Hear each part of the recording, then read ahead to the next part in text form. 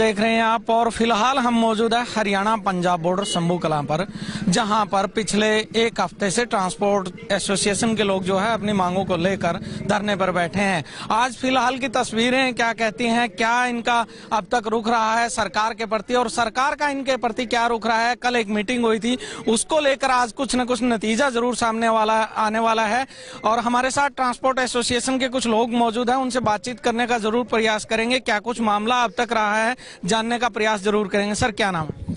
मेरा नाम Tony Dhaliwal truck union शहीद उधम सिंह वाला सुनाम तो। सर कल मीटिंग हुई है। पिछले एक हफ़्ते से आप यहाँ धरने पर बैठे हो ठंड का मौसम है परेशानियाँ झेल रहे हो। क्या कुछ कल मीटिंग में निकला? जो कल की मीटिंग थी हमारा एक ही मुद्दा था ट्रक यूनियन की बहाली। वो उन्होंने लिखती पढ़ती हमारे को एक चिट्ठी दी है सरकार की कि जब तक कोई नई पॉलिसी आपके जो चाहिए वो नहीं आती, तब तक जो आपकी एसोसिएशन, ट्रक यूनियन काम कर रही है, उसी तरह वो बहाल है, वो काम करेगी। तो हमारा जो मुद्दा था, तकरीबन वो हल है। अगर दोबारा कोई दिक्कत आएगी तो हम फिर से धरने के लिए तैयार होंगे, अगर हमारे हक ना मिले। सर, अब ये जाम लगाया हुआ है शंभू बॉर्डर पे। वन वे चल रहा है, दूसरी तरफ़ बिल्कुल बंद किया हुआ है। ये पूर्ण रूप से कब खोला जाएगा?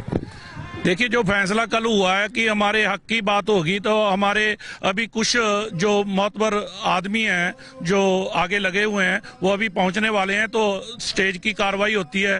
तब सारा फैसला होके तभी सभी भाइयों का